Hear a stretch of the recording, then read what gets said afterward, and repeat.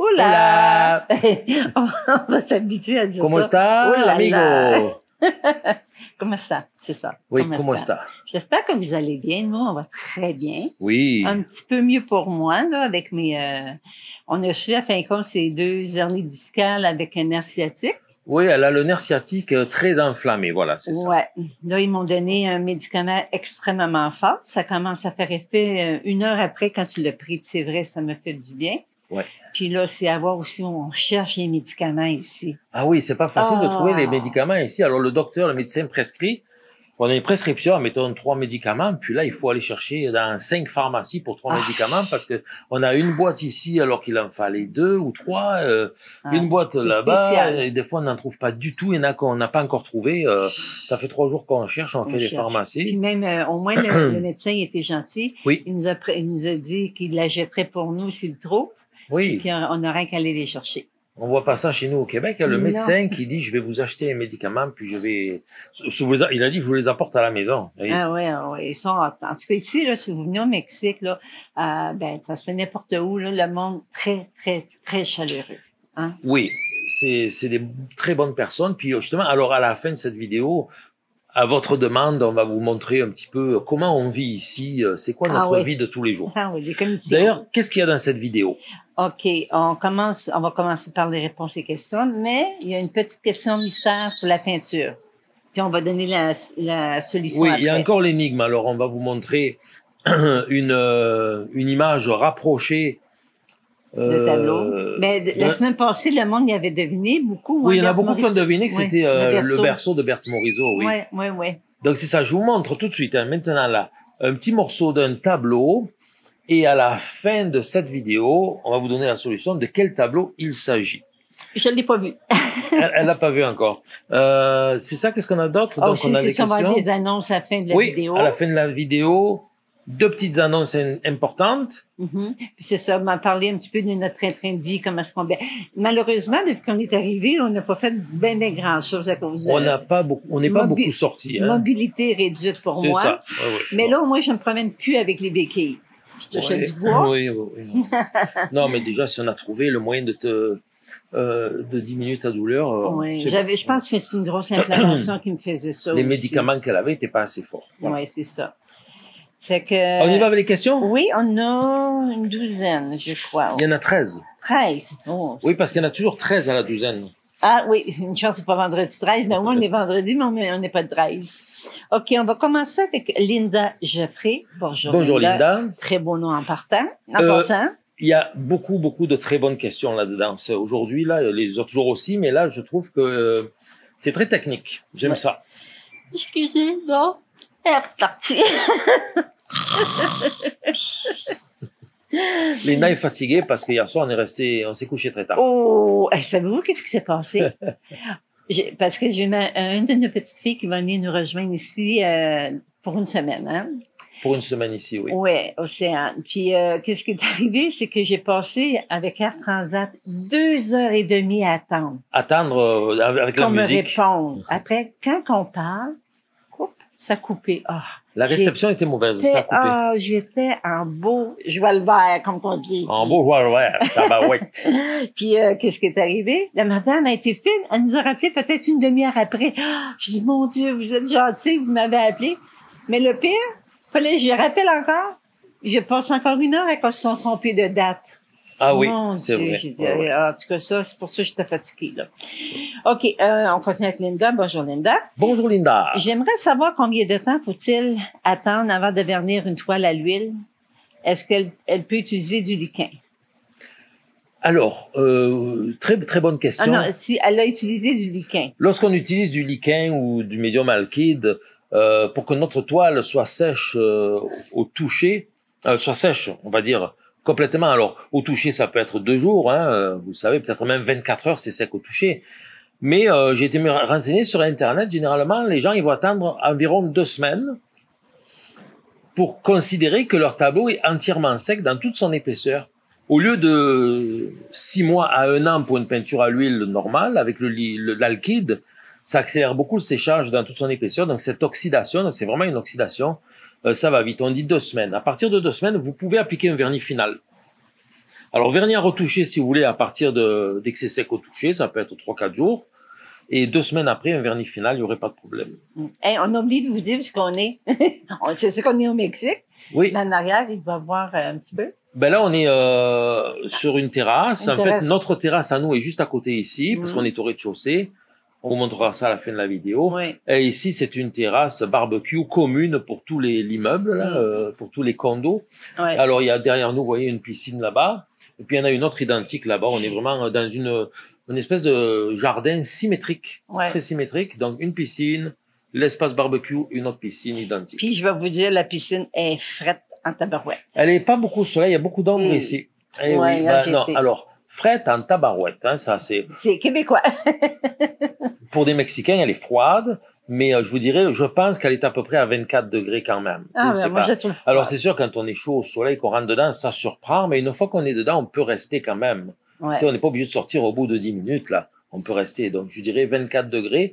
La mer est à peu près à, Un petit peu plus chaud. en ce moment, euh, peut-être euh, Vingt- 26. Il- L'autre jour, 26, parce qu'il a fait frais. Il a fait très frais. On a eu des 16 degrés la nuit, euh, 22 le jour. C'est froid ici. C'est très froid. Les Mexicains, ils, sont, ils ont des, des vestes d'hiver. Hein. Euh, là, ça s'est réchauffé, mais elle était à 26 degrés à peu près, parce qu'en temps normal, euh, quand on se baignait, c'était facilement 28. Ouais, c'est ça. 28 degrés la mer, oui, pour, euh, pour dire c'est assez confortable, quoi. Hein. Mm. Juste rafraîchissant ce qu'il faut. Plus chaud que ça, ça serait trop chaud. Ah oui, on va. Tu avec des bulles? OK, on continue avec un Nefter Osiris. Bonjour Nefter Osiris. C'est Mar- Martine. Donc, bonjour Martine. Euh, en, en- en passant, Martine elle me dit d'aller voir la méthode Mackenzie. Puis oui, j'ai été voir c'était quoi, puis j'en ai fait un peu d'exercice. C'est une méthode euh, bien spéciale pour mon nerf sciatique. Mackenzie. Oui. Il y a certains, elle dit, il y a certains tableaux qui ont peu d'harmonie colorée et pourtant ces peintures sont très belles. Je pense aux paysages de neige partant gris. Le résultat est assez monochrome, mais il en ressort une atmosphère particulière. Qu'en pensez-vous? Ben, moi, ce que je pense, c'est que vous dites, il y a des tableaux qui ont peu d'harmonie colorée parce qu'ils sont monochromes. Mais non, le monochrome, c'est une harmonie colorée. C'est une belle harmonie colorée. Voilà, ces tableaux-là ont une belle harmonie colorée. Soit ils sont dans le monochrome, soit ils sont euh, dans des grisailles. Euh, ben, j'en ai fait un il y a pas si longtemps que ça, euh, dans la neige, là. Euh, te rappelles-tu au chalet à, Oh, ouais. Sainte-Agathe Il est dans la formation, la peinture c'est facile. Euh, il est dans euh, peindre euh, sur le vif, sur le motif. Un petit tableau où c'est vraiment des gris, des gris bleutés, un peu chaud des fois, un peu froid des fois, mais c'est très monochrome et c'est une, une belle harmonie colorée. Ça fait partie des harmonies colorées, le monochrome. Euh, les grisailles froides ou les grisailles chaudes. Ça fait partie des harmonies colorées, c'est pour ça que vous trouvez que c'est beau, même s'il n'y a pas des couleurs vives. Tu sais, je pense à la, à la fois ta mère quand je faisais un bailler. Ça me regarde là, la ma belle-maman, elle va dire Linda, arrête de bailler, tu me fais bailler. C'est nerveux, hein, c'est pas qu'elle a sommeil, c'est nerveux, Non, ben j'ai sommeil un peu. un peu. OK, on continue avec Sylvain, c'est Sylvie. Bonjour, Bonjour Sylvie. Lorsque je change la couleur d'une photo sur mon tableau, en parenthèse d'une table blanche, par exemple, où se trouve le sujet, Oui. c'est pas évident de modifier les couleurs des reflets de la table sur le sujet, car les reflets sur l'objet sont multiples. Oui. Lumière, ombre, couleur de l'arrière-plan et la table. Et donc difficile à repérer les bons reflets à modifier. Comment être sûr de ne pas se tromper et de ne pas faire d'erreur?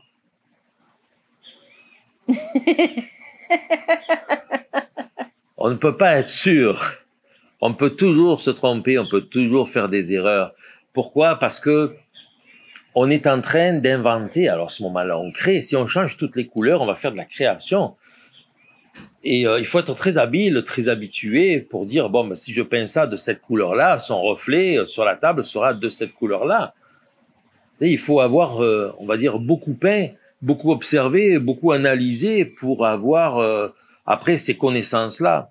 Donc le mieux, c'est de ne pas inventer. Quand vous dites je change les couleurs, vous n'êtes pas obligé de tout changer les couleurs. Vous pouvez juste les modifier un petit peu. Vous pouvez améliorer l'harmonie colorée simplement, à, comme je l'ai montré dans notre vidéo, en trouvant une couleur qui va être euh, ajoutée à chacune des autres couleurs. Vous voyez, pour créer l'harmonie, ça peut fonctionner aussi. Alors oui, c'est sûr que le tout, c'est ça, c'est de, si vous avez euh, un fruit orange, euh, vous avez une orange. Sur la table. Elle a un reflet orange. Si vous décidez de faire comme dans Tintin, de faire votre orange bleu, ben, le reflet devra être bleu. Hein Mais c'est au, niveau des nuances, des petites nuances que c'est difficile, effectivement. Voilà, donc euh, il n'y a pas vraiment de réponse à ça, sinon euh, observez, travaillez, faites-en, euh, amusez-vous avec des exercices, puis vous allez voir, ça va, ça va être de plus en plus facile. Puis après, vous faites des petites modifications très légères. Vous dites, bon, mais mon orange, là, j'ai mis un petit reflet bleuté dans l'ombre. Donc, je mets un petit reflet dans le reflet du reflet, bleuté. Et voilà, et comme ça, tranquillement, mais juste euh, toujours avec douceur. OK, on continue avec Joël Jouve. Bonjour Joël. Bonjour Joël. Elle, c'est sur elle ou il, mais Joël, là, c'est une fille. Oui. Euh, c'est sur la vidéo de mercredi passé, pas OK. ce mercredi ici. Elle dit Merci René, le bleu est la couleur complémentaire de l'orange. Et cependant, perso, je ne trouve pas que ce soit une belle harmonie. Peut-être faut-il qu'elle ne soit pas trop pure. Autre, ben, celle-là en premier. Là, alors, oui, c'est ça. Lorsqu'on parle d'harmonie colorée, admettons deux complémentaires, orange et bleu, revenez sur ma poire euh, mauve et jaune. J'ai pas mis du mauve pur. Ce sont des couleurs qu'il va falloir rompre, rabattre, effectivement. Donc le bleu, par exemple, le bleu d'un ciel, c'est un bleu pas vif, c'est un bleu qui a été un petit peu grisé légèrement, surtout dans le bas du ciel. Il est plus, il est moins bleu qu'en haut, tout ça. Puis après, vous pouvez avoir, euh, je sais pas moi, un champ de blé, c'est beige, donc le beige fait partie des oranges, c'est légèrement orangé, voyez? Mais c'est pas un orange vif non plus, donc oui, effectivement, quand on parle d'harmonie colorée, il y a, euh, on va dire, deux points importants, c'est la qualité et la quantité pour chaque couleur. Si vous avez une couleur dominante dans un tableau, il y a beaucoup de bleu partout, par exemple, donc ce bleu, il a une grande quantité, il faudra que sa qualité soit abaissée. Donc il va être rompu, rabattu, il va être rendu gris un peu. Eh, le soleil, il est parti.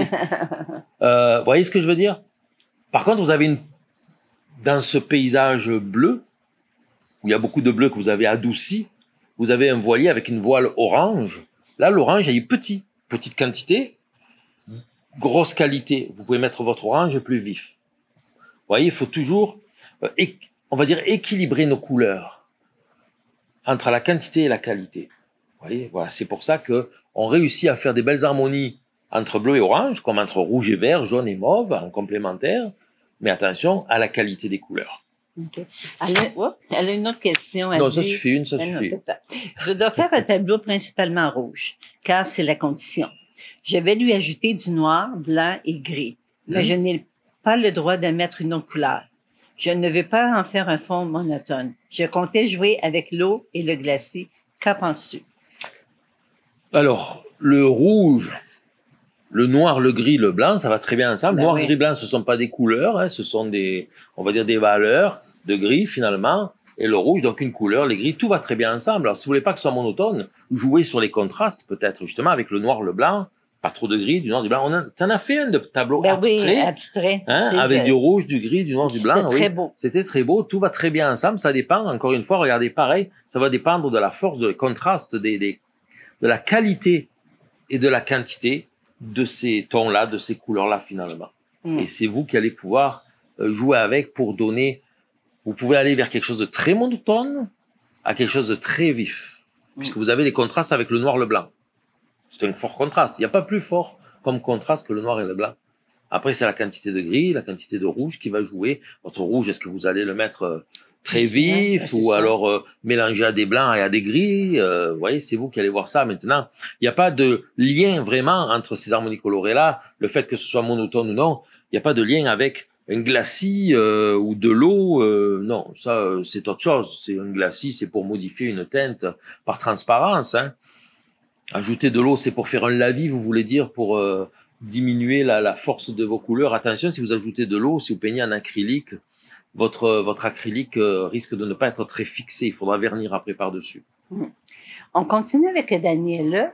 Bonjour, Danielle. Danielle. Daniel, OK. Elle demande quelle est la marque de votre cercle chromatique? je le sais pas. Euh, j'en ai plusieurs des cercles chromatiques. J'en ai un vieux qui est tout abîmé. J'en ai un tout neuf que j'ai acheté là, récemment. En avait Gros, deux, deux J'en en ai un, petit en plastique et tout en anglais. Je l'ai fait venir de. Alors je sais pas vraiment les marques. euh, ils sont de toute façon ils sont tous pareils, Ouais. sauf que c'est écrit des fois en français, des fois en anglais. hein, pour, pour ce modèle-là. Là, vous voyez, euh, euh, regardez dans les, sur les sites internet, c'est le géant des beaux-arts ou, euh, Moi, ou ailleurs, vous allez trouver. oui, c'est- Ils ont toutes les mêmes couleurs. ouais, c'est courant. Hein, c'est, Ah ouais. C'est c'est devenu un objet très commun. Hein. Oui, mais sinon, vous pouvez en faire un de vous-même. Hein? Faites-le, c'est, encore, encore mieux. mieux, oui. Vous avez vu comment on l'a bien dit ensemble? Faites-le, c'est encore mieux. Hey, on n'est pas habillés pareil Ah, aujourd'hui. Je vais te dire, on est le bleu, non? Comme tentez pas. OK, on continue avec Bayard. Bonjour, Bayard. Bonjour Baya. J'ai une petite question. Est-ce que je peux effacer un ancien tableau pour faire un nouveau par-dessus? Bien sûr. Moi, Mais oui, Oui, qu'est-ce que vous allez faire? tous les artistes ont Ouais. fait ça, tout le monde, Oui, mais c'est ça. Pour récupérer la toile, on les jette pas, là, quand ça, ça fonctionne pas. par plaisir. Par plaisir. Par plaisir pour détruire ce qui était en dessous. Des fois, ça soulage. Oui, c'est vrai. Qu'est-ce que vous allez faire? Vous allez pouvoir le, le sabler, Le poncer? Le poncer ou le sabler. Et après, vous mettez des couches de gesso, au moins deux, trois. Puis après, il va être prêt pour euh, faire... Puis, un, petit peu encore le, le sabler. Un Oui, petit peu pour enlever les... entre les couches Oui. aussi, ouais. Mais pourquoi le sablé? Pourquoi le sablé au début? Sinon, on peut avoir des granules. bah, c'est ça, on peut avoir de la texture qui reste dans Ouais. l'ancien tableau. hein. Mettons, Ouais. vous avez fait un paysage avec une ligne d'horizon bien marquée, là, en épaisseur. Puis après ça, vous voulez peu. faire quelque chose, un personnage, il va avoir une ligne dans la face, là, ça sera Mm. pas beau. C'est le plus de faut penser euh, ouais. pour enlever les épaisseurs. Puis surtout, surtout euh, si jamais ce tableau il a été peint il y a très longtemps, qu'il a été peint à l'huile, on s'en rappelle plus, on le sait pas, et que vous voulez peindre à l'acrylique dessus, votre acrylique sur l'huile n'adhérerait pas. Donc il va falloir penser toute la peinture au complet pour arriver jusqu'à la Mm. toile. Mais faut faire attention. Euh, Je suis une experte de ponçage, moi, avec les machines. Faut pas aller tout le temps à la même place parce que vous risquez de faire un trou dans Oui. votre toile. Et là, vous l'achetez. Oui, faut pas percer la toile, hein, faut penser ce qu'il faut. On continue avec Cécile Brunet. Bonjour, Cécile. Pour avoir une matière très fluide essentielle à quelques détails. Je tente en ce moment l'encre acrylique Liquitex, en parenthèse, la même que vous possédez dans l'un de vos tiroirs d'après la vidéo visite de mon atelier. Ah, vous avez elle- tout regardé, hein? Oui, tout, tout, tout, hein? Euh, sur châssis entoilé gessoté. Qu'est-ce que c'est, ça? Gessoté, il y a du gesso dessus. Ah, OK. Et appliqué avec un pinceau, traceur et plume sergent-major. J'ai fait des tests en superposant encre acrylique, peinture acrylique golden et New Master, médium à glacer et, au final, vernis Liquitex. Eh ben, ça fait des, oui, ça fait beaucoup de médiums mélangés, ça, Ouais. oui. J'ai également multiplié les combinaisons. Oui. Au bout du compte, tous ces matériaux réagissent bien. Mais, faute d'expérience avec ces encres acryliques, il y a forcément des idées de tests que je n'ai pas eues. Y a-t-il des manières de faire de proscrire avec l'encre acrylique, d'après toi? Alors, vous avez utilisé pas mal de choses. Donc, sur une toile gessotée, ça veut dire que vous avez appliqué du gesso pour qu'elle soit lisse, je suppose, ou pour faire des textures au contraire, je sais pas trop. Euh, vous avez utilisé donc l'encre acrylique, Mm. la peinture acrylique Golden et la peinture acrylique New Masters de Old Holland. Euh, du médium à glacis, vous avez utilisé, et au final, du vernis Liquitex par-dessus. Mm. Vous avez multiplié les combinaisons, au bout du compte, ces matériaux réagissent bien. Mais est-ce qu'il y a d'autres idées? Est-ce que vous n'avez pas fait d'erreur Alors d'abord, ce qu'il faut savoir, c'est que les encres acryliques, les encres, d'une manière générale, sont très transparentes. C'est transparent. L'encre, c'est fait pour travailler en transparence. On peut la diluer avec du médium, on peut la diluer avec de l'eau, mais on va jouer avec les encres justement pour faire ces effets de transparence et de lumière au travers de l'encre et tout ça. Tandis que les peintures acryliques, la golden, même si vous utilisez, admettons, de la golden liquide, euh, elle est opaque. Elle est beaucoup plus opaque que l'encre. Alors c'est ça. L'un et l'autre sont complètement différents. Une encre va pouvoir aussi colorer, teinter un médium. Vous pouvez mélanger de l'encre avec un médium acrylique ou un médium gel, médium gel épais. Euh, vous teintez ça, ça, ça fait, admettons, vous mettez du rouge dans un médium gel, ça fait du rose. Parce que là, le médium gel est blanc. Hein? Et vous l'appliquez sur votre toile.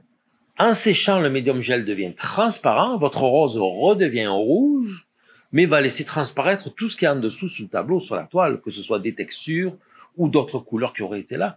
Ça se travaille un peu comme de l'aquarelle. C'est vraiment ça la grosse différence. Mm. Alors, quel est l'avantage? Oui, elle dit aussi, y a-t-il des manières de faire proscrire Non, il y a, avec oh, l'encre? il y a rien qui est proscrit. Non. proscrit. Amusez-vous, essayez, faites des expériences. Utilisez aussi des textures. Vous allez voir, ça va être très intéressant parce que l'encre va venir retirer. Euh, les textures vont venir retenir l'encre euh, sur les crêtes, sur les bords, ce qui fait que ça va générer des endroits où ça va être plus foncé, des endroits où ça va être plus transparent. C'est vraiment très, très intéressant. Puis la demande en dernier, c'est quel avantage y aurait-il à utiliser plutôt la peinture acrylique fluide de Golden? La peinture acrylique fluide, elle est opaque. Mm. Euh, elle est conçue, elle a été conçue, cette peinture-là, pour être pulvérisée avec un airbrush, un aérographe. Euh, alors que l'encre, elle est transparente, elle est faite pour être utilisée comme de l'aquarelle, pareil que de l'aquarelle, mais en acrylique et en peinture sur toile, parce que l'encre acrylique, elle est fixe. Euh, si vous utilisez l'aquarelle, c'est pas fixe et l'aquarelle va être absorbée par le support, tandis que l'encre, non, on va glisser sur le support. Euh, ce sont toutes ces petites nuances qui donnent toute la richesse à ces produits. Et euh, franchement, oui, je vous, je vous encourage vraiment à les utiliser. Correct? Un petit truc. L'encre acrylique et l'encre aquarelle, vous allez voir, c'est deux pots de la même, même étiquette, même forme. C'est vraiment, euh, chez les fabricants, la même chose. Mais acrylique et aquarelle, c'est différent dans le sens où l'encre aquarelle ne se fixe pas au support, c'est-à-dire que vous en appliquez, vous laissez sécher. Mais si vous remettez de l'eau, elle va se, se- s'en aller. Elle va se défaire. L'encre acrylique, vous faites la même chose, vous remettez de l'eau, elle est fixée. C'est ça la grosse différence entre les deux. Euh, on continue avec Christian. Bonjour Christian. Bonjour Christian. Il dit quand on peint à l'alkyd, que c'est deux à trois jours après, est-ce qu'on doit mettre du vernis à retoucher pour continuer ou on reprend directement avec l'alkyd dessus? Euh, oui, ça sèche en deux à trois jours. C'est vrai, c'est ça, c'est sec. Bon, c'est sec deux à trois jours. Après ça, vous voulez repeindre dessus. Vous pouvez y aller directement en peinture alkyd dessus. Mm. Vous n'appliquez du vernis à retoucher avant de repeindre un tableau que si vous êtes embêté pour le repeindre. Vous pouvez pas le peindre normalement parce que, admettons, vous avez utilisé beaucoup de liquin pour votre première couche. Le liquin est très fluide, très, très, très glissant. Hein. C'est brillant, ça glisse. Et au moment de revenir peindre par-dessus votre deuxième couche, vous trouvez que la peinture glisse trop, n'adhère pas assez à la toile, Mm. et ça vous empêche de faire ce que vous voulez comme vous voulez. À ce moment-là, appliquer une couche de vernis à retoucher, ça va va rendre votre toile plus collante pour reprendre le travail. Et à ce moment-là, votre peinture ne glissera plus, ça va mieux marcher. Ça sert à ça, le vernis à retoucher. Si vous n'avez pas ce problème, si vous n'êtes pas embêté, vous pouvez peindre directement à nouveau à l'alkyd sur votre couche d'alkyd qui est sèche. On, on continue, on continue avec Michel Richard. Bonjour Michel. Bonjour, Michel. Michel. Elle a un grand texte, hein? Euh, OK, elle parle. Il semblerait que les cadmiums et cobalt, et cobalt, c'est ça, des pigments ne soient pas si cancérigènes que ça. Je pense qu'on parlait de ça. Bon, hein? c'est ça, c'est une, c'est plus un, un message pour nous informer sur quelque chose que Ouais, euh, Qu'une question. Qu'une question, c'est ça. ouais, mais c'est pour vous dire aussi qu'est-ce qu'elle pense. Je recherchais l'info concernant les contrôles qui m'avaient rassuré. Après recherche, le directeur de la fabrication de couleurs à l'aquarelle, Dalla Ron- Roné, Oui, C'est Deller Ronnie. On dit Deller. Ronnie, c'est anglais. Hein. Ah, OK. Ex- explique que le cadmium égale métal. Hein? Soluble dans l'eau est cancérigène, mais que les pigments d'aquarelle n'utilisent pas le cadmium soluble, mais des composés de cadmium non solubles et non dangereux, selon, excusez, selon les contrôles stricts de l'Union eu- européenne. C'est une affirmation qui est Oui. OK. Même chose pour le cobalt. Le problème vient selon l'une d'une confusion entre cadmium et cobalt et d'autres rapports composés de cadmium de ce fait sont non dangereux en Europe. Je ne sais pas pour l'huile et l'acrylique, il faudrait voir les fabricants pour voir si c'est si dangereux. Ouais. Prudence, bien sûr, toujours de mise. Info trouvée dans une vidéo YouTube de Rémi Lac, aquarelliste, qui a interviewé ce fabricant de couleurs d'aquarelle. C'est ça, elle a trouvé Oui. ça? C'est vrai que, bon, on sait que les cadmiums et les cobaltes, ont des étiquettes où c'est écrit euh, Dangereux. risque de cancer. Moi, on voit ça donc sur les produits euh, américains. Euh, moi, j'utilise des produits américains, donc je ne, je n'ai pas. je sais, avant, ça y était, par exemple, sur quand j'utilisais la Rembrandt de Talens, Royal Talens, c'est en Angleterre. Il y avait ces étiquettes-là aussi, attention, cobalt ou cadmium, c'est cancérigène. Mm. Mais moi, effectivement, je me suis aussi, j'ai réfléchi dans, dans, dans ma petite tête, je me suis dit, Si c'est un pastel sec, un pastel sec, on utilise du cadmium pur et qu'on en met sur notre notre dessin, ça crée une poudre volatile. Tu Euh, si on, on peut la respirer, si on, on souffle dessus pour faire partir la poudre, on s'en met partout, on va la respirer. Et là, on peut facilement, je me suis dit, attraper un cancer des poumons parce qu'on respire du cadmium Mm. ou qu'on respire de, du, cad- du, co- du, du cobalt. Euh, après ça, je me suis dit dans les peintures, peintures acryliques et huiles qui sont, on va dire, euh, véhiculées euh, par ce médium, ce, ben, ce- le, comment on appelle ça, le polymère pour l'acrylique, euh, l'huile de lin euh, pour la peinture à, l'huile, sais, ça ne vole plus là. Alors il faudrait que j'en ai plein les mains, que ça me traverse les pores, la peau, que ça aille dans mon sang. Euh, il faudrait que j'en boive, que j'en mange. Ah, mais c'est c'est une bonne affaire pour le Je souper ce pense, c'est ça. On voit des artistes qui mettent les pinceaux dans la bouche pour les tenir là. On en voit, ils peignent avec 4-5 pinceaux, il y en a trois dans la bouche, un dans la main, un dans l'autre main. Hey, posez-les les pinceaux, mettez-les pas dans la bouche. Parce que le manche, il est sali de peinture. Hein? Ah ouais. Moi, je fais jamais ça, mettre un pinceau dans la bouche. J'ai bien d'autres choses à mettre dans la bouche qu'un pinceau. Oui. Je suis gourmand. Hein? Ouais. Mais voilà, c'est ça. Donc, après ça, effectivement. euh, donc, alors, merci beaucoup, Michel. Euh, c'est Rémi, c'est celui qu'on oui. a fait euh, l'aquarelliste. Rémi Lac, Lac? euh, il nous a fait un cours d'aquarelle Ben oui, dans aussi. la formation. Donc, euh, effectivement, c'est sûr que selon les pays et les normes, les recommandations sont différentes. Et s'il est prouvé que, donc, on parle que, composé de euh, je, reviens sur le texte ici. Oui, soluble, non soluble et non dangereux. Voilà, c'est ça. Il y a une partie du cobalt, une partie du cadmium qui est non soluble et qui n'a pas été utilisée dans la peinture. Alors, on peut, le cobalt est dangereux, mais la partie du cobalt utilisée pour la peinture ne l'est pas. Alors, effectivement, il n'y a plus de danger, c'est certain. Alors, euh, c'est bien, ben, on, peut-être j'irai chercher cette vidéo de, euh, Rémi. de Rémi Lac. Ça m'intéresse de voir ça, effectivement, Mm. d'en savoir un peu plus sur ce, ce point-là, mais euh, c'est ça. En attendant, prenons nos précautions. Ah oui. OK, on continue avec Lisbeth. Bonjour Lisbeth. Bonjour, Lisbeth, Lisbeth était avec nous dans cet été. Ah Euh, oui, l'été oui, oui. passé Oui. euh, au stage. au stage. Oui. Elle dit Bonjour René et Linda. Petite question pour vous deux. Je travaille en ce moment une peinture d'un artiste actuel.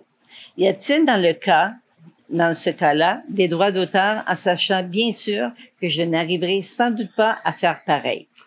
Merci pour votre réponse. oui. Effectivement, il y a la règle des droits, la loi sur les droits d'auteur à respecter. Donc, vous peignez la toile d'un artiste actuel, euh, même si vous ne le faites pas exactement pareil, que vous n'y arrivez pas. À partir du moment où vous faites euh, votre tableau et que vous mettez une photo sur Facebook, euh, quelqu'un va dire, hey, cette toile, je sais c'est qui qui l'a peinte, c'est l'autre et tout. Et puis là, ça commence à faire des, ah ouais, pourquoi tu l'as mis sur Facebook? Tu m'as copié, t'avais pas le droit. Tu. Il vaut mieux respecter les droits d'auteur. Vous voulez peindre de, une toile de, de lui, si c'est pour votre plaisir personnel, si c'est juste pour apprendre, c'est bon, faites-le. Vous la gardez chez vous, vous la prenez pas en photo, vous la mettez pas sur Facebook, personne ne le sait. Maintenant, si vous prenez, une photo, mettez sur Facebook, non. Ah, Appelez-le, écrivez-lui, demandez-lui. Demandez-lui d'abord, je peux reproduire une de vos toiles? Est-ce que j'ai le droit? Est-ce que je peux? Est-ce que vous me donnez le droit? Vous n'avez pas le droit, mais est-ce que vous me donnez le droit? Euh, si oui, admettons, une fois que je l'ai faite, bon, vous dites, moi, admettons, je suis débutante et tout, c'est pour apprendre, mais est-ce que je m'autoriser à prendre une photo et la mettre sur Facebook, euh, sur euh, ce que vous voulez, Instagram ou autre? Il va peut-être vous dire oui, mais à condition que vous marquiez que vous l'avez fait d'après mon tableau à moi. Ça Et- serait tout à fait normal de le citer, de le nommer. Puis un, un conseil, moi je suis jamais prudente, euh, faites-le par signer, par signature, parce que tu peux dire Oui, euh, ben comme non, mais ça. tu, tu écris, puis il te répond, tu as une trace écrite. Ah oui, ça oui, Oui, c'est ça. Faut le faire par écrit, oui. Oui, c'est mieux. Que ce soit un email aujourd'hui, un email, Ouais. ça suffit. Ouais, hein, au moins vous avez la preuve parce qu'il peut revenir après. Ouais. Je vous ai dit non, puis vous m'avez dit Oui, oui. mais il pourrait pas, euh, il pourrait pas l'attaquer, lui poser du tort parce qu'elle a rien vendu avec ça. Euh, c'est certain que si vous faites ce tableau-là et puis qu'après vous vous trouvez beau, vous faites une photo, euh, vous en faites des tapis de souris, mettez ça sur des tasses et vous allez les vendre dans une foire. Là, il peut vous réclamer l'argent que vous avez gagné. Ouais, Hein, vrai. voilà, c'est ça. Mais si c'est juste pour mettre une photo dans Facebook, même il serait pas content, il se retournerait contre vous, vous n'auriez pas de, de, de, de, de risque de quoi que ce soit, de, comme on dit, de, Voilà. Voilà. Voilà. On continue avec Le Ma- dédommagement. Ah, Ok. j'ai cherché. On continue avec Monique Tremblay. Bonjour, Bonjour Monique. Monique et Lucie, on était la voir. Oui. On était la voir. Bonjour Monique, comment ça Oui, va? Ça va bien? OK. Parfois, Monique avait de la, de la difficulté hein, pour aller... Pour écrire euh, un petit peu, oui. Oui, mais pas que ça pour aller dans la formation, de Oui. trouver les vidéos. Bon, Monique, il va falloir prendre des cours d'internet et Je vous l'ai d'ordinateur. dit, ça serait excellent Un petit peu des cours d'ordinateur, ça peut être pratique pour certaines personnes qui ont des inquiet, difficultés là, euh, oui. avec les, les ordinateurs, des fois à l'internet ou autre, parce que c'est vrai, on voit beaucoup de, des fois dans la formation, des gens qui n'arrivent pas à, à trouver telle page, qui n'arrivent pas à, à ouvrir nos emails, par exemple, ça c'est très Ils fréquent. sont frustrés, mais c'est Euh, normal. Il y en a qui disent ouais, j'ai pas reçu votre réponse. Ouais, mais on avait répondu, mais elle n'a pas été ouverte. Le message n'a pas été ouvert, mais bon. Non, parce qu'on a une place, c'est marqué ouvert ou pas ouvert. Puis on voit tous ceux... On sait tout on sait- sur vous. Si vous avez Non, non, ouvert, pas tout. si vous avez ouvert le courriel, à quelle heure, euh, quel jour, à quelle heure, et puis dans quelle pièce de la maison. ah, ben si vous étiez aux toilettes, là. Si vous lisez nos emails aux toilettes, on le sait. OK. Monique a dit combien de temps il faut attendre de séchage avant de mettre d'autres couches pour notre toile? Au liquin, c'est ça. Avec, le, liquin. OK. Est-ce que nous pouvons mettre du liquin avec l'alkyd pour la brillance? Non, alors, ok. Ça, c'est deux euh, questions, oui, je comprends. Euh, ben, on peut vernir. qu'est-ce que- OK, attendre la première, là, c'est ça. Pour Combien- mettre une autre couche. Ben, OK. Ça dépend si c'est à l'huile ou à l'acrylique. Non, non, hein. au liquin, on parle euh, à l'alkyd. Lorsqu'on a peint à l'alkyd, ou, ou même n'importe quelle autre euh, peinture à l'huile traditionnelle, euh, médium, euh, euh, térébenthine et huile de lin, euh, tout ce que vous voulez, quand c'est sec au toucher, vous touchez là, c'est bon, c'est sec, ça ne colle plus, je peux appliquer ma couche suivante, tout simplement. Que ce soit l'alkyd ou pas l'alkyd, c'est sec au toucher, on Mhm. peut y aller. Parce que si c'est pas sec au toucher, ben, votre nouvelle couche se mélange à la précédente Mm. et ça n'est pas une nouvelle couche. C'est comme si on continuait la même. Ouais. Vous voyez, c'est ça. Et donc, si vous avez modifié en mettant votre gras sur maigre, vous mettez une nouvelle couche plus grasse sur la maigre, mais que la maigre est pas sèche, ben, ça graisse la première couche. Donc, ça fait plus qu'une couche. Ça serait pas dommageable pour le tableau, pas du tout. Mm. Ça peut être désagréable à peindre, ça peut être embêtant un petit peu parce que tout se mélange. Mm. Voilà, tout simplement. Alors, si vous voulez mélanger du liquin et de l'alkyd, l'alkyd euh, et le liquin, ça a la même propriété de séchage, mais le liquin rend la, peinture plus brillante. Donc à ce moment-là, ben, n'utilisez pas l'alkyd, utilisez que le liquin si vous voulez que votre peinture soit plus brillante. Effectivement. Mais là, selon où vous mettez votre liquin, vous le mettez plus ou moins, ça brille plus ou moins aussi, ça va faire des brillances un peu différentes sur le tableau. Donc, faut pas utiliser le liquin en pensant, parce que je mets du liquin, ça va briller partout, j'aurai pas besoin de vernir mon tableau ou autre. Non, non. Peignez au liquin normalement, euh, pour votre confort de séchage, ou à l'alkyd, et après, vous vernirez le tableau pour le faire briller. Et puis, comme on l'a dit précédemment, vous n'êtes pas obligé d'attendre six mois, un an pour le vernir. Si vous voulez appliquer un vernis final brillant, très brillant, ou satin, ou mat, vous pouvez faire ça dans, dans deux semaines sans problème. On continue avec Pierre Lambert. Plus que deux questions. Ouais, une, deux. Euh, bonjour Pierre. Bonjour Pierre. Excusez, j'ai un chat dans la gorge. bon. Mais au fait, ça sert à quoi d'avoir une complémenta- complémentarité entre deux couleurs, genre vert et rouge? Pourquoi pas vert et bleu? Alors, à quoi ça sert et pourquoi? Pourquoi? Pourquoi est-ce que le vert est complémentaire du rouge? Ben, on l'a pas inventé, c'est comme ça. C'est la vie. C'est la vie. c'est comme ça. C'est C'est euh, elle qui m'a choisi. Ce sont c'est les physiciens. Enfin, on reviendrait sur le cours de couleurs, les physiciens, la, la synthèse additive, la synthèse soustractive, les couleurs primaires, les couleurs secondaires, qui va nous donner les couleurs complémentaires. On n'y peut rien, c'est comme ça. L'orange est complémentaire du bleu, euh, le rouge du vert, le jaune du violet, etc. Alors, on peut, voilà, à quoi ça sert d'avoir une complémentarité? Ben, c'est ce qui sert, c'est surtout de le connaître et de le savoir. Parce que c'est comme ça, puis on l'a pas inventé. Et de le savoir, ça va nous aider à faire nos mélanges de couleurs. Beaucoup, ça va beaucoup nous aider dans les mélanges de couleurs. Ça va nous aider aussi sur la toile à gérer nos contrastes de couleurs. Voilà, c'est surtout ça. Je ferai pas un cours de couleur d'une heure là, mais euh, c'est ça à la base. Et puis vous pouvez aller sur les cours de couleurs pour comprendre tout ça. Il y aura tout est super bien expliqué. Et je vous propose, je vous conseille vivement le cours de couleurs. Et attention, on a une annonce à la fin de la vidéo, justement, on va vous en parler. Ouais. On finit avec Niki Auger. Bonjour, Niki. Elle dit, elle travaille avec la peinture Cobra diluable à l'eau, euh, avec en parenthèse allergie. Qu'en penses-tu de, ce, de cette peinture-là? Il n'y a pas de cramoisi.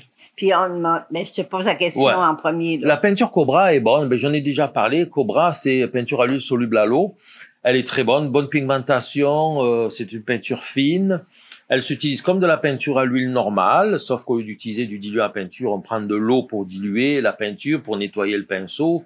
On peut mélanger aussi quand même de l'huile de lin, qui n'est pas un produit dangereux, l'huile de lin, et on pourrait quasiment la boire. C'est de, l'huile végétale. hein. Donc, euh, si on a besoin de respecter le gras sur maigre, tout ça. Euh, et le truc, c'est qu'elle est un petit peu plus, un petit peu plus fluide qu'une peinture à l'huile normale. Mais sinon, elle est superbe. Excellente peinture. Le temps de séchage est pareil qu'une peinture normale. Oxydation, parce qu'elle contient de l'huile à l'intérieur. hein. Il y a de l'huile de lin à l'intérieur de la peinture. Donc, euh, oxydation, temps de séchage par oxydation, on va dire un peu plus qu'une semaine au sec à toucher, au toucher, puis euh, six mois, un an pour le sec euh, séchage complet dans toute son épaisseur. Il y a une bébête en arrière de moi, juste là. Oh mon Dieu. Et deuxième question? Euh, oui, la deuxième, elle dit, dans cette gamme, il n'y a pas de cramoisi d'azarine. Par quoi le remplacer? Le cramoisi d'alizarine, alors normalement, s'il n'y en a pas, vous devez trouver de, de la lac de Garance. Lac de Garance, cramoisi d'alizarine, c'est la même chose. C'est la même couleur? Oui, c'est la même couleur. OK. Mais c'est tout. C'est tout. Ben oui, on a fini Bon. les questions. Puis on peut vous dire comment, comment ça se passe. Voilà. Alors Mexique, maintenant non? que les questions sont finies, nous avons euh, une annonce. Ah oui, c'est vrai. une petite annonce. Je, vais vous en faire deux petites annonces rapidement. Je vous le fais. Puis après, on va vous montrer un petit peu comment ça se passe ici au Mexique pour nous. Puis faut Et à la fin, toute fin, il y aura la réponse à l'énigme du jour. C'est ça. Euh, donc, euh, la première annonce, c'est que nous allons faire euh, Mm. dans ce mois de février très bientôt un spécial Saint-Valentin. Alors, vous recevrez nos emails, puis on vous fera peut-être une annonce plus précise la semaine prochaine, parce que là, j'ai pas exactement les dates, mais on va vous faire un spécial 50% de rabais sur tout le catalogue euh, de nos cours, un peu comme on l'a fait pour la, le Boxing Day. Donc, c'est l'occasion pour vous, si vous voulez, justement, vous procurer le cours de couleur vraiment pas cher. Mais euh, c'est ça, c'est Valentin. La Saint-Valentin, cette, année, ça tombe un lundi. Fait que le 12, on va se prendre à l'avance, euh, pas le 12, le 11. Le Non, vendredi non, 11. Le, non, le 12. Samedi 12, le samedi, Samedi 12. 12, on va, on va avoir un petit peu de décor à, à, à la, Ah oui? à la Saint-Valentin. Ben Samedi oui. prochain. Allez, on va se mettre un petit peu de décor à la Saint-Valentin. Ben oui, ben oui. on va fêter, on va Comme fêter les amoureux. je me rappellerai tout le temps. Si vous vous rappelez, là, la Saint-Valentin, Caroline a fait des bloopers de moi. Oh mon Dieu. Ah oui, c'est vrai. Oui, c'était à la Saint-Valentin. Bon, je, je me rappelle. Et euh, la deuxième annonce, c'est que bientôt, il va y avoir, euh, on- je travaille dessus, on est en, je suis dans les tournages en ce moment là. Dans les montages, Moi, les tournages, toi les montages. Hein. Mhm. Un nouveau cours euh, gratuit. Vous savez, on vous offre tout le temps, euh, euh, tous les mercredis, je vous dis la vidéo, cliquez sur le lien dans la description sous la vidéo pour télécharger le e-book. Euh, on va marquer le nouveau e-book, mais ça fait longtemps qu'il est nouveau. Euh, euh, le e-book, il y a eu les fiches, six fiches pour les mélanges de couleurs, euh, de peintre débutant à peintre confirmé, tout ça. Ben là, je suis en train de travailler sur un nouveau cours gratuit, un cours qui sera assez complet, assez long, euh, un beau petit cadeau. Hein, ça aurait quasiment pu faire un cadeau de la Saint-Valentin, mais il sera pas prêt pour la Saint-Valentin, ça va aller Mm. plus loin et euh, plus tard. Et ça va se présenter sous un, euh, un cours qui, par étapes sur six jours d'affilée. Voilà. C'est bon, ça c'était les annonces. Alors, on vous montre, on vous parle, ben, on va, on va jaser ensemble. Tiens, euh, comment ça se passe ici au Mexique pour nous? Hein, Comment ça se passe? Ça va bien? Non. bah, à, part, ta- à part asiatique, là. Ah ben oui. si, si j'aurais à marcher, je serais pas ici, donc je marcherais en. Oui, on marcherait, on marcherait dans les rues. Les rues, Mm. comment c'est, c'est les Comment rues, de, c'est les rues de Playa del Comment c'est Carmen? rue, les rues? Comment Mais- c'est les rues de. Les rues, par exemple, à Playa del Carmen, bon, si vous allez sur Facebook, sur YouTube, vous allez voir la cinquième avenue Playa del Carmen. Bon, Ah. c'est la rue touristique. On y est allé, on n'y va plus, on n'a pas vraiment besoin d'y aller. Mais C'est un, rien que ça, c'est que. c'est le piège à touristes. Oui, c'est Le piège, vraiment piège à là. touristes, là. Je vous conseille, si vous allez là, n'écoutez pas aucune personne là-bas. Parce que la Les première Mexicains. fois qu'on Ils a vont tous nous appeler, là, ils vont Ah dire, la hey, première fois, ils m'ont eu, là, mais ils m'auront plus après. Euh, Je te connais, hey, je me te connais, pas. tu me reconnais pas, je te connais. Mais ils se ressemblent tous aussi. Hey, viens, je te présente mon cousin, il, Ah. il a la bou- il a la boutique à côté, puis là, il vous vend plein de choses Ah, là-bas. ouais. Euh, mais euh, voilà, ça c'est la, la, la cinquième avenue à Playa del Carmen. C'est On voit aussi la police. Alors, la ça. police, il y en a Mais beaucoup. les rues, les rues normales, c'est quoi des rues normales? Ben, C'est des rues avec de la circulation, euh, des stops, euh, des feux de circulation, euh, beaucoup de voitures, euh, beaucoup de vélos, beaucoup de mobilettes. Ouais. Hein, c'est sûr que c'est pas riche ici. Alors les gens sont beaucoup à pied, en vélo, en mobilette. Les transports en commun, euh, il n'y a pas vraiment de, de bus. Il doit y en avoir des bus, des grands bus, mais on voit surtout des petits, Non, mais non, les grands bus, je crois, c'est pour les, les, euh, les touristes, les touristes. les sorties de touristes. Oui, c'est ça. Mais sinon, c'est surtout les, comment ils appellent ça, des, les, petits, euh, des, ouais, petits euh, autobus, mais petits, là, des, des, des 10-12 camions. places là. Ouais, c'est ça. ça. Pour, ils Ouais. t'attendent dans un coin, là, une place précise. Ils Mais c'est pas, c'est pas marqué, hein. Il faut- Il, il se connaît. Mais je pense qu'il peut les ramasser n'importe où. Quand il voit quelqu'un euh, sur, sur le bord, mais il ramasse. C'est ça. C'est euh, puis c'est ça. Alors, la police, c'est spécial la police. hein. Ah, La police, ils sont dans des pick-up. Alors euh, tout le et- temps avec les gyrophares. gyrophare tout le temps. Ça tourne Tout tout le temps. temps, tout le temps, avec des masques. La carabine comme ça, tu bien Le fusil d'assaut, ils ont tous des fusils Avec d'assaut. lunettes, là, Ouais, ouais. vraiment comme s'ils seraient en guerre. C'est des tortues ninja. Ah, ouais, Ah, ouais, ouais. Mais on se laisse pas intimider. Puis les routes, bah, c'est des routes. Ici, on a surtout une très grande route, la, euh, la nationale ici, qui, qui passe par loin. C'est toujours tout droit, toujours tout droit, tout droit, tout droit, tout droit. Euh, limitation à 100 km heure, même si on peut faire une demi-tour, qu'il y a des, des traverses de, de piétons, euh, c'est 100 km heure tout le long. Hein, c'est vrai, hein, c'est, donc, euh, Mm. ils se cassent pas la tête avec la vitesse ici. Mm. Euh, ça respecte assez bien la limite, tout ça, là. Ça, ça se passe très bien. Hein? Mais- on, on voit pas, on voit pas beaucoup de, de, de problèmes. Hein. Non, non, non, c'est non. ça. Puis, il y a- euh, ben, c'est ça, quand on parle d'autoroute, on va aussi dans les grands magasins. Comment est-ce que c'est, hein? Les les- ben, c'est quand les même grands assez magasins, c'est comme chez nous, là, c'est comme en France, c'est comme au C'est comme Québec. euh, Super U. Bon, il y a, Moi, je trouve que c'est Super U. ouais, comme, euh, ben, je dirais peut-être, ouais, c'est ça. Ben, au Super U, ils vendent pas mal de tout, comme eux autres. Ouais, ouais, ouais, super U, ils oui, oui, c'est ça, oui, exactement. Ça ressemble à un peu à un super U pour la France. Mm. Euh, au Québec, ça ressemblerait à euh, Maxi, euh, mais non, parce que tu, Non, non, non. c'est il y a pas de mélangé. Il n'y a pas d'équivalent vraiment au Québec. Par exemple, Non. Euh, on va à Chedraoui en face, c'est comme une super rue, parce qu'il y a la bouffe, la nourriture, tout ça. Puis il y a quand même aussi des Du affaires neige, euh, des- pour le bricolage un peu, pour la voiture, euh, des vêtements. Ouais. euh, Il y a de tout. il y a de tout. Électronique. euh, Électronique aussi, Puis la nourriture, c'est sûr. Mais c'est pas, on La- trouve pas tout ni en grande quantité. Le vin. Oh, le vin. ah oui. Et euh, si on va, alors il y a Walmart, hein. Il y a Walmart à, Oui. Mais en Walmart, c'est... à Playa del Carmen. Ouais. Euh, là, par contre, à Walmart, c'est plus comme euh, chez Maxi aussi, parce que si vous arrivez à la viande, là, c'est pas juste des armoires de viande, il y a le boucher, Mm. il y a le poissonnier, vous voyez, Mm. Et le- les fruits et légumes. Puis comment est-ce que ça se passe avant de rentrer? Quand, avant qu'on rentre comme chez Walmart, là, comme toute place. Dans Alors- le monde, on a la température, la- Ouais. laver, laver les mains, Laver. température, s'essuyer les pieds avant d'entrer. On essuie les pieds sur un tapis, Puis même le, le pouce-pouce, là, il nettoie le caddie il aussi. nettoie, Ouais. c'est tout. Et, à, Avec le masque. Et à Cancun, il y a un Costco. Oui, C'est un Costco, voilà. oh, oui, oui, gros. Il y a un magasin un peu l'équivalent de bureau en gros qui s'appelle euh, Office Dépôt. Euh, tu sais, il y a, ouais, Il y a de tout. il y a de tout, absolument de tout. On n'a pas fait tout partout encore. On s'est limité qu'est-ce qu'on connaît. Fait que là, quand je vais aller mieux, on va approfondir là, aller des places qu'on connaît pas Oui. pour voir. Hein? Ouais, ouais. OK. Et les puis, produits, euh, les produits sont excellents. La seule chose que je déplore ici, c'est les desserts. Vu qu'on est même gourmands, Ah oui. j'y trouve pas. si Vous allez euh, à la, près de la boulangerie, il y a C'est tout beau. plein de C'est brioches, des gâteaux. C'est magnifique. C'est, c'est appétissant. Ben seulement, C'est juste de la déco. Pour oui. nous, là, c'est juste de la décoration. oh mon Dieu, un Français qui quasiment va là, immangeable. vous allez là, les Français, mon Dieu, vous la c'est dire. sec, ça c'est c'est frites, c'est. Il n'y a pas de. Il y a pas de goût. ben, c'est la texture qui est pas bonne C'est aussi. hein, Non, c'est non, bizarre. non, C'est très, très bizarre. Ouais. Par contre, ils ont des bons pains, des bons petits pains. des bons petits Et pains. puis ils font de la tortillas. Hein, tortillas, ça, c'est les spéciaux champions de la tortillas. Ben, là, qu'est-ce qu'on fait comme dessert? On se prive. Là, maintenant, on prend du, euh, des fruits. Les fruits ici sont très bons. Ah oui, les fruits, ouais. Très frais, le goût est bon. La particularité, c'est les grands étals de piments. Des Ah, oui. piments de toutes sortes, de toutes Ah. forces. Ah, Il y en a, puis des gros. Habanero, comme ça, euh, ouais, ouais, c'est. Je vous conseille, si vous allez là, prenez pas ça avec vos mains.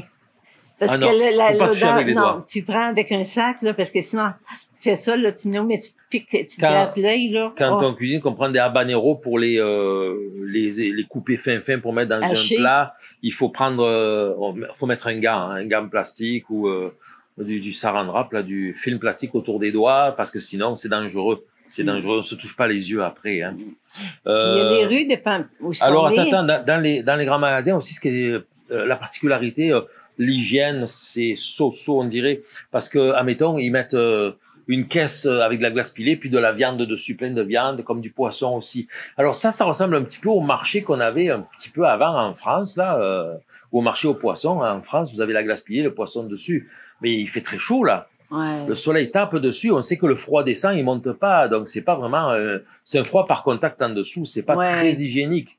Mais ils sont pas malades, on n'est pas malade. Moi, on en a acheté de la viande comme ça, on l'a mangé, on n'a pas été malade. Non. On, c'est, c'est, ah, aussi parce qu'il y a beaucoup de débit, les gens ils achètent, ça, ça roule beaucoup. Ouais, ouais. Ça reste pas là longtemps. Mhm. Mais les magasins, oui, c'est, super. Alors, euh, On parle rues. aussi d'un rues. les rues ici à Porto Aventuras, Oui, c'est quand même bien. hein. c'est très calme. Lui, il a été faire un. J'ai fait des tours vélo. de vélo, les rues désertes. Il y a des rues désertes. Bon, il y a la rue principale ici, la Baia Chassel, qui elle est très occupée parce que c'est celle qui se donne dans toutes les autres rues, donc il y a toujours un peu de trafic. Mais sinon, les autres rues transversales, là, on va croiser quelqu'un de temps en temps, mais tu sais, il n'y a pas beaucoup de monde. C'est, c'est vraiment très, très calme ici. Puis on voit des noix de coco hein, dans les arbres aussi, là. Ah, Mon Dieu, même on était à la plage l'autre fois, puis on voyait plein de, de, noix, Ouais. de, noix de coco. Je dis, mon Dieu, s'il y en a un qui S'il y tombe. en a une qui tombe, mais les gens, ils sont en Oh! dessous, ils se mettent sous le palmier à l'ombre. Si si y a la noix de coco, elle tombe. Adieu. Puis les iguanes aussi, hein. On voit des iguanes euh, quand on allait à la plage, euh, pas à la plage, à, à l'autre. euh, L'année passée, là, on avait vu des iguanes, mais ici, on en ah, au- pas. à l'hôtel, là? Oui. Oui, mais ici, il y en a aussi, on en a vu. Moi, j'en ai vu dans la rue, juste ici, devant. Ah oui, ah oui, Oui, qui oui. traversait, oui, oui, Oui, a. devant nous. Oui, des Ah, iguanes, il y en a partout ici. euh, Oui. On pourrait essayer d'en manger une un jour, là. Agouti, je... ouais, on a vu un aussi. Oui, des agoutis, il y en a bien un qui est venu manger ici. Il y a des chauves-souris. Ah, les agoutis, c'est quoi les agoutis? C'est des abrutis. Les agoutis, ça ressemble. C'est entre le rat et l'écureuil sans queue, là. C'est bizarre, c'est gros, là, mais. euh, Je c'est pas beau, mais c'est cute. C'est ben cute oui. quand ils mangent. Ben, l'autre fois, il y en avait, non, c'était ça, un, agouti qui était venu ici? Oui, c'est un agouti, là. OK, je lui donnais des fruits. Ah, mon Dieu, il, il adore les fruits, les agoutis. Ouais, Puis ouais. même les oiseaux, il y avait un oiseau qui était venu chercher des fruits. Ben, j'ai arrêté parce qu'ils vont tout être euh, chez nous après. Oui, les oiseaux, ils crient fort ici. Alors, c'est c'est assez spécial. C'est euh, Il y a des oiseaux qu'on voit pas chez nous. Hein. euh, Mhm. Il y a le grand, euh, je rappelle jamais son nom, là, un oiseau jaune avec une tête blanche rayée, là. Mhm. Euh, je me rappelle plus. Celui-là, il fait beaucoup, beaucoup de bruit. Puis des fois, on voit passer quelques oiseaux rapidement, pas très gros, à peu près comme ça, là, verts, et ils crient, crient, crient. Ah, C'est comme des, des perroquets, des petits perroquets là. Ça, ça crie très fort. Puis à la plage, qu'est-ce qui se passe? C'est quand on mange là-bas, là, les mouettes. En tout cas, enlevez pas, enlevez pas euh, euh, votre assiette, gardez-la avec vous. Parce qu'ils sont tellement sournois, là. Ah oui. Tu peux avoir ton assiette ici, là? Tu touches pas, il s'en fout, il va te, il va te voler. Ah Une fois, on a même, j'ai pas tout mangé, fait que la madame, il y a une madame qui m'a dit, mais allez le porter pour vous. Ils ont laissé ça sur un comptoir, même pas une minute après. Non, non, il y avait quelques secondes, deux quelques secondes. secondes, En il y deux avait secondes, au moins 20-30 mouettes qui, me- qui, Ah oui, qui se battaient, là. C'est la bataille pour les. euh, Puis tu te rappelles quand on a marché, euh, ben, il y a une semaine ou deux, deux semaines, parce que, oui, euh, on marchait, puis il y avait un dauphin, là, que le monsieur, il lançait un, Oui, un cerceau. En faisait, oui, oui, il oui. faisait noir, là, c'était noir. c'était la nuit. nous autres, on- moi, je regarde comme ça, puis le monsieur est à gauche. Le dauphin, il est venu me lancer à moi. L'anneau. ouais, L'anneau, ah, oui, oui. Oui, les dauphins, ils jouent avec les gens qui passent à côté parce qu'ici, il y a des bassins, des bassins avec des dauphins pour les activités. Puis, euh, quand il n'y a pas d'activité, ils sont là, ils sont, on va dire, en temps libre, ils sont nés là. Ils ont, euh, leur naissance est arrivée là depuis des années, ils sont là. Et les restaurants autour, les gens promènent, les voient, les regardent, mais c'est très interactif parce que le dauphin, il, il se tourne, on le voit dans l'eau, il nous regarde là, puis Ah, ils ont envie vraiment d'avoir une interaction. Alors, ils peuvent, s'il n'y a pas de, de jouets ou quoi, ils vont prendre des algues dans le fond, puis ils vont nous les lancer comme Ah, ça pour qu'on ouais. leur relance. Ah, tu sais. ouais, ils ont vraiment envie de jouer, oui. Puis on parle aussi que quand on arrête d'un restaurant, la nourriture est excellente. C'est sûr qu'on a des choix, des, des restaurants qu'on on aime plus que d'autres, là. Mais à part de ça, ici à Porto Aventura, on les a essayés pas mal tout. On mange très bien. La, la nourriture, les restaurants mexicains, vraiment, c'est super. Puis euh, je touche du bois, on n'est jamais malade. Hein. C'est pour Non. dire que c'est fait. Quand on était il y a à peu près trois ans, on était à Cuba. Ah, mon Dieu, moi j'avais pogné la tourista. Cuba, c'est pas pareil, franchement. Non, et, la euh, nourriture est exécrable, est pas bonne. Ben, Malgré que le monde est très bien là-bas, c'est beau, c'est euh, Parce qu'il y a les hein. embargos qui les- leur empêchent d'avoir des, des importations, tout simplement. Voilà, c'est ça. Mhm. Alors qu'ici, il y a vraiment de tout. C'est un bon producteur aussi. Puis, euh, euh, ils peuvent importer aussi. On voit des, dans les épiceries, d'ailleurs, des produits français. Hein? On Mm. voit des produits américains. On voit Ah, des... ben oui, mais chez Draoui, il y en a. Hein, Oui, chez Doroyer, il y a des oui. produits français. Ah, Ouais, ouais, il y a des, euh, Ah, on voit des voitures aussi. On voit des Renault, des Peugeot ici. Hein? Mhm. Mhm. Ah, ben oui, c'est ça, notre auto, euh, c'est une Chevrolet Aveo qu'on a. Nous, on a une Chevrolet Aveo. Ouais, ouais, euh. Alors, c'est une voiture ordinaire, mais ça va bien. Ben on avait la, la même l'année passée, un modèle un peu plus ancien, mais Mhm. Ben, ça suffit. dépend, hein. là, Ben oui, alors avec ça, ben, on est libre, on roule comme on veut. On, on a loué un, un particulier, enfin un professionnel, mais c'est pas un magasin. On n'est pas allé chez, euh, comment on appelle ça, chez euh, Hertz ou. euh, Ah non, non, non. Parce que, tu sais, il paraît que si on est dans une compagnie comme ça, ouais, les Euh, voitures sont reconnaissables. sont reconnaissables, puis il paraît que la police peut t'arrêter, Ben, te demander euh, de l'argent. Des cash, c'est ça, du- ouais, ouais. Comment on dit ça, quelqu'un qui... du euh, bachiche. Non, tu dis euh, Un pot de vin. un pot de vin, c'est Ouais, ça. c'est ça. Ben là, là, puis il faut jamais donner ton permis euh, ou tes- ta carte de Non, de- c'est de- ça, rien, rien. Tu dis, OK, tu veux me donner un ticket? Je vais te suivre au poste de police. On va aller au poste de police Vous et puis on va payer va- avec une carte parce qu'on n'a pas d'argent. Et à ce moment-là, ça l'embête d'aller jusque là-bas. Fait que c'est ça. C'est comme ça qu'il faut agir, paraît-il. On nous l'a dit. Nous, on n'a jamais été arrêtés par la police. On touche du bois. Non, c'est euh, du bois. Super. T'as du bois dans la tête, mon amour. Mais euh, donc, on a une voiture de location non identifiée. Ça paraît comme une voiture particulière. Une, Voilà. une voiture fantôme. Puis euh, l'autre fois, quand on, on parle de Saint-Valentin, j'étais en train de finir mon, mon, mon bonhomme. Là, mon Oui, oui, c'est vrai, oui, oui. Oh, oui, puis René m'a filmé un petit peu. Fait que, euh, on va vous montrer ça, là. Donc, euh, oui, Linda, Linda a fait son sur la terrasse ici parce qu'elle a toujours pas de studio pour peindre. Mm. Donc, elle a fait ça. Concentré. Hein. Pour la Saint-Valentin. Je ne l'ai pas dit, mais c'est ton cadeau. Ah ouais, waouh, je suis content. Ah, ben, il est beau, il va être beau.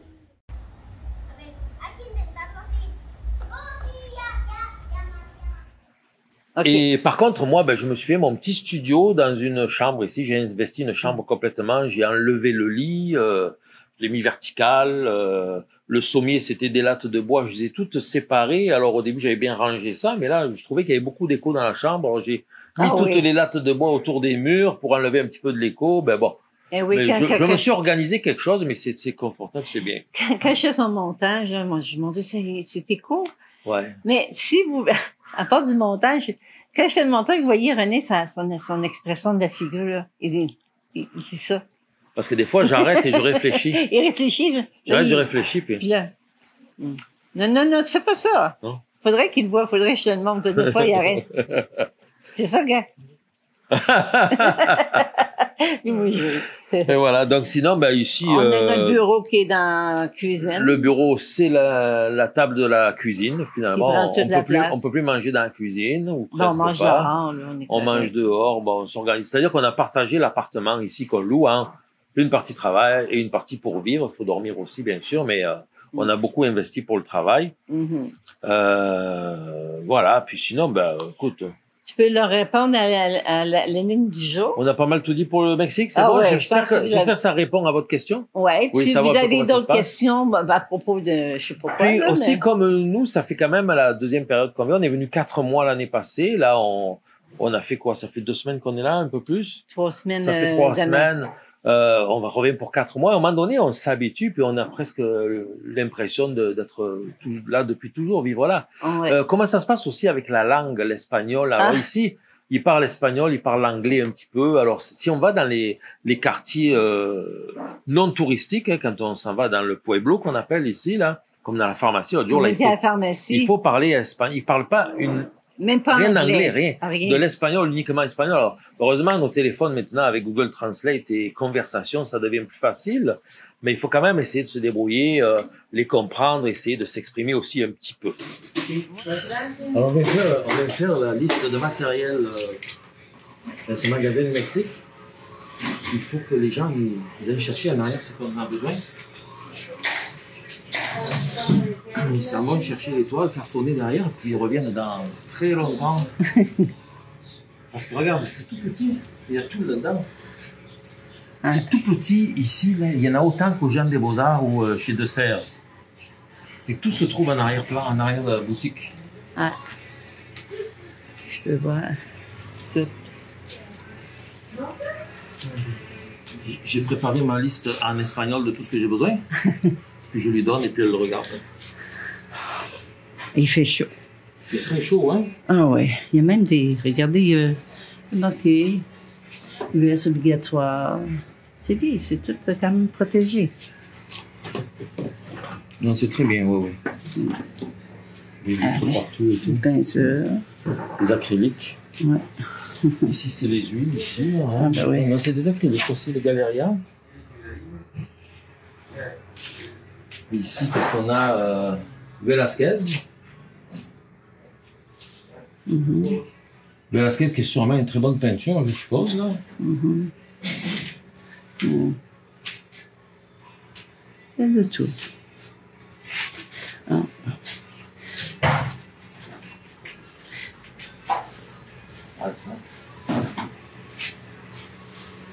Oh, je pense qu'il n'en aura pas beaucoup. Un petit peu. Moi, j'ai.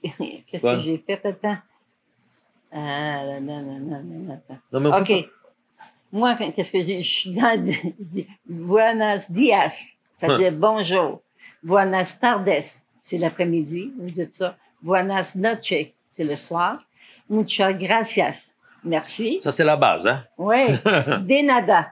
Ça veut dire bienvenue. Euh, bienvenue au Québec, de rien en France. Ouais. Tienes. Avez-vous? Ouais. Euh, por favor, s'il vous plaît. Mi nombre. C'est quoi ton nom? Non, moi. Donde es- están los? Donde están los baños? baños? Ah, ben oui, j'ai oublié ça. Donde están los, están los baños? Où sont les toilettes? c'est important, ça. ça, c'est, important pour moi, ça. Anca- Encantada, enchanté. Tienes una ducha. Avez-vous une douche? Ah, ben oui, ducha. Caliente. Ah, ben, on connaît ça, caliente, hein, la chaud, hein? chanson, c'est Ouais. chaud.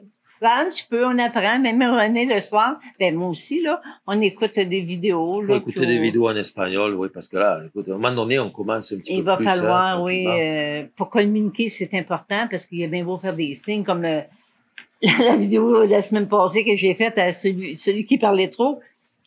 Je fais un grand signe. J'aurais dit tout de suite en, En espagnol? en espagnol. Il aurait compris, là. Ah oui. Alors, c'est ben, ça notre vie ici Mm. au Mexique. Donc, on est là jusqu'au 15 mai. 15 On voulait rajouter, hein. On voulait, on voulait Selon- rajouter. euh, Selon ce qui va se passer euh, au niveau du, de la COVID mais au non, Québec ou je autre, ne peux pas. ben oui, on peut. Mais on peut- non, on a notre spectacle. Ben, on le reportera. Ouais. On, on le remplace pas, on le remplacera par un meilleur encore. Oh! Parce que mon spectacle, sûrement, pas tout le monde vous, vous les connaissez, c'est euh, Alain Morisseau, Sweet People. Ouais. Ici, au Canada, on les connaît un petit peu plus. D'ici là, ils vont fermer les spectacles peut-être. Ah, ben, s'ils ferment, ça, c'est sûr, je reste. Il y a un nouveau, il y a un nouveau variant qui arrive. Hein. Ah, ouais. Euh, oui, bon. Alors, euh, ben voilà, on, on y va avec la réponse Oui, à l'énigme du jour. Et Oui. on a beaucoup parlé aujourd'hui. oui. Ça Alors- se trouve avec les ambassadeurs. Oui, c'est ça. Alors, ce, ce petit morceau de tableau fait partie d'un grand tableau qui s'appelle Les Ambassadeurs de euh, Jans euh, Holbein, le- Hans Holbein. Le Jeune. En mi- 1533. 53 Eh, oui. 33 1533. Il a peint ça en 1533, donc on était à l'époque de la Renaissance. Donc c'est ça. Alors c'est un double portrait de Jean de Denteville, qui était ambassadeur, et Georges de Selve, un ecclésiastique diplomate. Voilà. Alors ce qu'on voit dans le, dans le tableau, ce qu'on voit en bas, c'est une forme qui est un peu la forme de noce de sèche. Eh bien, lorsqu'on met le tableau de travers, qu'on le regarde du côté droit, en enfilade, on va voir apparaître donc Un crâne. une tête de mort, un crâne. Fortement déformé par Qu'on appelait, ana- anamorphe. En peinture, vous savez, c'est, on voit beaucoup de crânes, on appelle ça des vanités. Voilà, c'est ça. euh, et donc, à ce moment-là, le tableau, lui, il a une autre, un autre aspect, puis le crâne apparaît. Et c'était un petit peu pour symboliser euh, euh, la mort, si vous voulez, que le, le fait que la vie est quand même quelque chose d'assez fragile et qu'un jour ou l'autre, on va tous y passer. Ça veut dire ça, en fait. Mm. C'est ça. Mais tu sais que j'aurais jamais su. Et ce tableau, si vous allez dans Wikipédia, vous tapez les ambassadeurs Hans Holbein le Jeune, et là, vous allez avoir toute une description énorme de tout ce qu'il y a dans ce tableau qui est symbolique. Tout ce qu'il y a sur les étagères, tout ce qui porte sur eux, jusqu'au crâne qui se trouve en bas, tout est très très symbolique et tout a une signification. Voilà. Et c'est donc euh, pour euh, Jean de Denteville que ce tableau a été peint, puis l'a accroché chez, dans, son, dans son palais. Mm. Voilà, c'était ça l'énigme. Ouais, on va en jour. avoir une prochaine. La semaine prochaine, on trouvera autre chose. Ben oui. Mais moi, j'ai. euh, On essaiera de, quelque chose de rouge dans un tableau. Ah oui, tiens, un- une énigme avec un thème sur la Saint-Valentin. Ben oui, ce serait bien. Tiens, on va marquer ça. Prends des notes. C'est ma secrétaire. Je la paye en nature. Non, ben, je suis bien payée. Ah oui, avec ce que tu manges? Hey! ça dépend qu'est-ce que je mange, hein? Bon, on va arrêter là. OK, coupez. Alors? Il est tout rouge. La Saint-Valentin. ah, oui. Alors, merci beaucoup. Merci, Merci. infiniment d'être là pour nous. Puis aussi tout le temps, que on oublie tout le temps de leur dire les likes qu'ils font, euh, Oui, aussi merci les, pour tout. tout qu'est-ce que vous répondez. les tout, tout, tout. partages. On lit tout. Oui, oui, oui, vous avez vu, on répond bien à vos questions. On essaye de faire ça bien. Et euh, voilà, ben, sans vous, on n'existerait pas. Eh Ouais. non, on serait C'est pas grâce à vous est. Ben oui, c'est ça. On ne serait pas TikTok. TikTok, ah oui, oui. Merci beaucoup Merci. et euh, très bientôt, la semaine prochaine. bye bye. bye. bye.